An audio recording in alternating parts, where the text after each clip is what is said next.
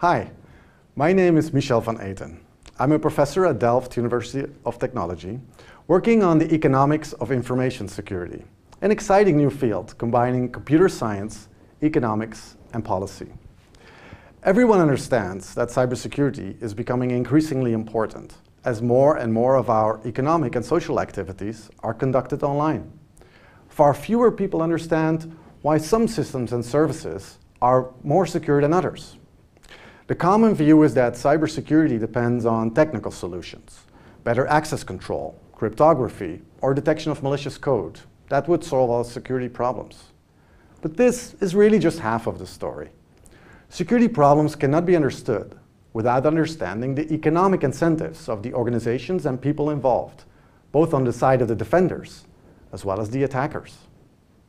For example, why do some internet service providers have 10 or even 100 times more infected machines in their network than other providers?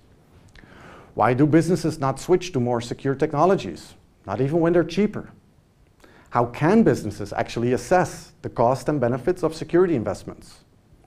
And more bizarrely, why do the anonymous criminals who spam you with their counterfeit Viagra actually provide excellent customer service? In this course, we will answer all of these questions and many more. The course is delivered by four of the leading research teams in the field. TU Delft, University of Cambridge, Münster University, and Southern Methodist University. The lecturers will provide you with a set of economic concepts, measurement techniques, and data analytics to not only better understand cybersecurity, but actually improve it. We hope you will join us.